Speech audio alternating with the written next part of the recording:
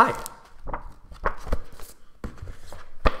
just trying to get through all the literature that I need to read in order to write the next paper. Um, and there's really a lot of it. I mean, there's so many books and so many papers published every single year that it's practically impossible to read that in any sort of details and on top of that to you know take notes on it kind of digest it understand it and uh, then paraphrase it put it in you know in your papers and stuff like this. I mean it's it's mad really. I mean in any single field there's probably hundreds of research papers being published every single day. How on earth are you going to ever get through all of those books papers and things? Well, one way to do that is to read more effectively and read faster. And that's why in this video, I want to show you exactly how you can really speed up your academic reading so that you can write more papers, write a better thesis, and have a much more thorough literature review. So let's check it out.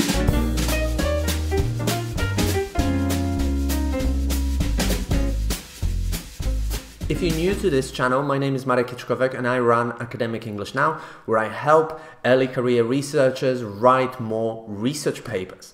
So in this video, I want to look at how you can get through, you know, this mountain of books and papers in your field in a much more efficient, productive and pleasant manner.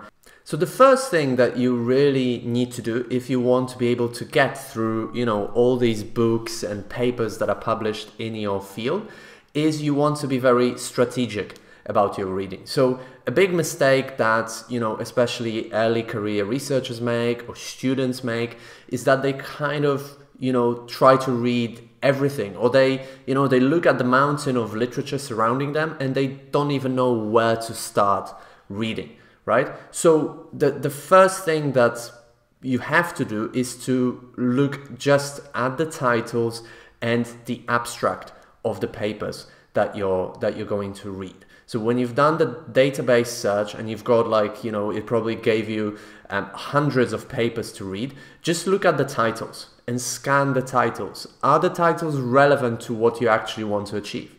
If they aren't, just get rid of that and don't don't even look at it. If they are, then you want to click on it and then just look at the abstract. Why do we just want to look at the abstract? Because the abstract is like, you know, a one paragraph summary of the entire paper. So this is a very efficient way of, you know, getting the gist of what that paper is about and deciding whether it makes sense to read the rest of the paper. So just scan the abstract and decide, is it relevant to my current research or not relevant. If it's not relevant, you obviously don't want to read anything else. If it is, then um, save it somewhere um, for later reading. Now, the next really important tip is to clarify to yourself why you are reading. So the mistake that I see a lot of people making is that they kind of they read. And if you ask them well, why are you reading? Well, because I have to do the literature review. So I have to read, right? But this is this is madness. That's why you know it takes you so much time to read. You've got to have a clear goal in mind why you're reading something be it a paper or be it a specific book right? And what do i mean by a specific goal? Well for example maybe you're interested in finding you know um, the research gaps right? And you want to know what research gaps there are in the literature. And I've got another video in here where I explain exactly what a research gap is and how to find it, and you can check it out. But you know, when you're reading papers for a research gap, there are basically two places where you want to look. The first one is the introduction, because in the introduction to a paper, researchers will point out what current research gaps they see.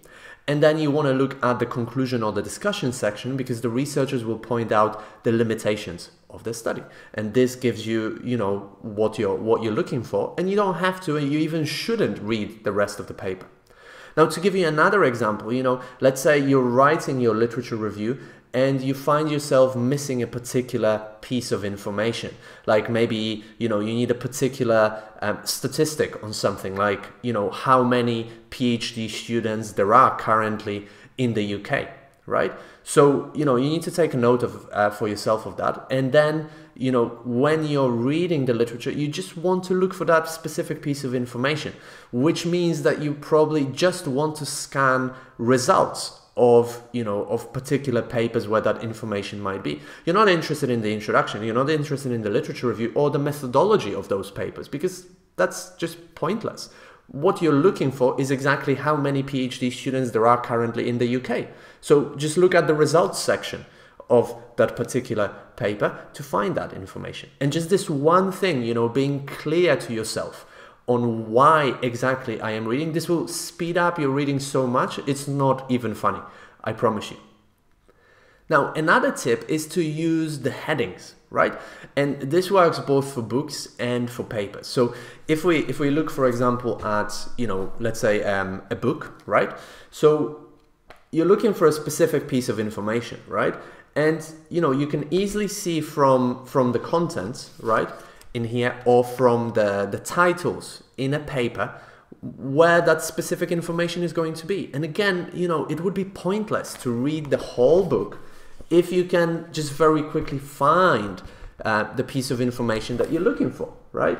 Um, so, you know, I'm just going to jump to that, um, to that particular chapter, right? Open it up for myself.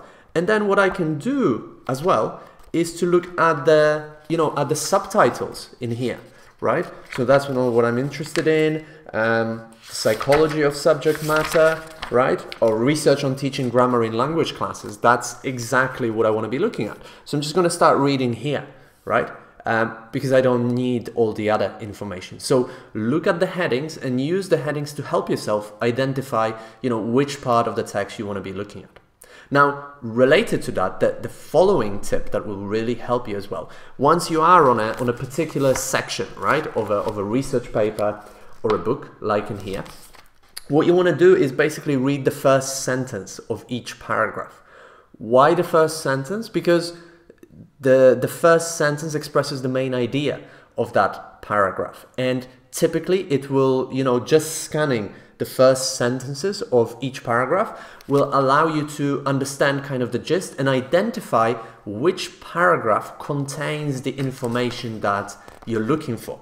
And once you've found that paragraph, then you can zoom in on it, right? And then read it in more detail. That's another tip. Now, one other really important tip that I want to give you is you know is kind of related to the headings and everything but it's you know it's going to even further speed up your reading and in here what you want to do is just search for specific keywords so let's say you know again you're you're looking for you know specific piece of information right? Again maybe you want to find out how many phd students there are currently in the uk and you've downloaded a report and that report has 100 pages and it's got you know a lot of information about a lot of stuff about you know universities what subjects they teach you know master students postdocs phds and stuff like this. But you know you don't want to read the whole thing then because it's irrelevant. So what you want to do is just use the the search function in your pdf reader and type in phd students for example or whatever particular topic you're looking at and then find it in the text, right? And of course, the reader will give you all the all the instances of that, and like that, very quickly you can just identify um, that information, right? So this will really help you further speed up your reading. And the last tip that I want to give you as well is not to kind of get fixated on or focus on words that you don't know right? Whenever, whenever you read something, there, there will always be words that are new to you, that maybe you don't understand and things like that. But when you're reading, you know, 90% of the time, you can either figure that uh, word out from the context or that word isn't necessary for you to understand, you know, what the paragraph is about. Um, and you don't need to look it up in a dictionary. So just like kind of when I read, be it in English or in other languages, you know, most of the time when I don't know a word, I just kind of ignore it and I continue reading because I'm looking for a specific piece of information and 90% of the time that word isn't needed for me to understand what the researcher actually is talking about, right? So in this video, I went over some tips that will help you really speed up your reading process. And if you're interested in working with me more personally, then book a free one-to-one strategy session and the link is somewhere below this video and in the description.